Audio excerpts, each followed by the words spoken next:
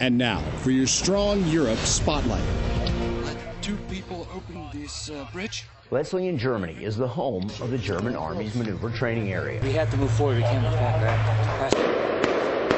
Members of the 3rd Infantry Division's 1st Brigade deployed to Germany as part of the U.S. Army's regionally aligned force concept and was deployed once again to validate their readiness and support one of the USAREUR commander's priorities, enabling the alliance.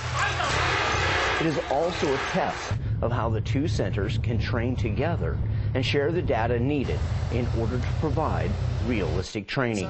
So me and my uh, other two squads in cross bridge. And we think kind of the initial results are good, but we got a little bit more work to do. But um, it really shows how our, um, the U.S. Army can work together with our, our German hosts.